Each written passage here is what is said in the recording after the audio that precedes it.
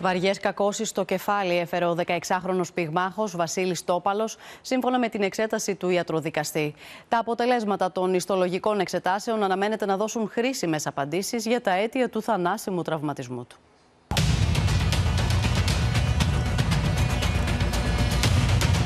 Βαριά κρανιογκεφαλική κάκωση που είχε ως αποτέλεσμα την εγκεφαλική νέκρωση έδειξε η ιατροδικαστική εξέταση για το θάνατο του 16χρονου πυγμάχου Βασίλη Τόπαλου. Αναμένονται όμως τα αποτελέσματα των ιστολογικών εξετάσεων που θα αποδειχθούν χρήσιμα καθώς μπαίνει στο μικροσκόπιο το σημείο που προκλήθηκε η κάκωση. Θα πρέπει να γίνει μια συνδυαστική μελέτη των κακώσεων που το παιδί έφερε εξωτερικά με τις κακώσεις που ανεβρέθησαν εσωτερικά είτε διαμέσου απεικονιστικών ή άλλων εξετάσεων κατά τη διάρκεια της νοσηλείας είτε ιατροδικαστικά κατά την νεκροψία νεκροτομή.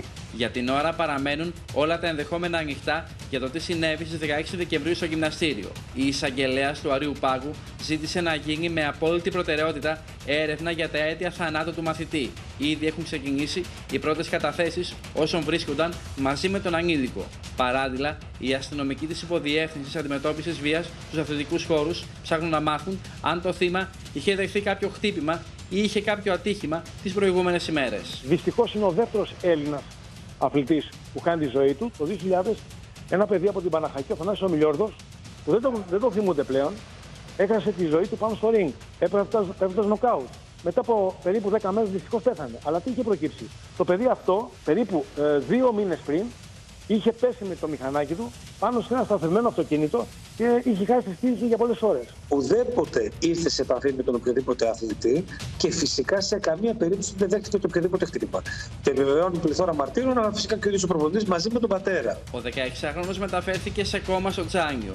Σύμφωνα με ανακοίνωση του νοσοκομείου, διασωληνώθηκε, αφαιρέθηκε υπό σκληρή βιοαιμάτωμα και παρέμεινε διασωληνωμένος. Παρά την εντατική φαρμακευτική αγωγή και την υποστήριξη όλων των ζωτικών του λειτουργιών, ο ασθενής δεν παρουσίασε κλινική και απεικονιστική βελτίωση κατά τη διάρκεια της νοσηλείας του. Η κλινική του εικόνα και ο απεικονιστικός έλεγχος παρουσίαζε συνεχή επιδείνωση και τελικώς ο ασθενής κατέληξε στις 2 Πρώτου του 2023 και ώρα 2 και 16. Αύριο στις 2 το μεσημέρι, συγγενείς, φίλοι και συναθλητές θα πούν το τελευταίο αντίο στο Βασίλη.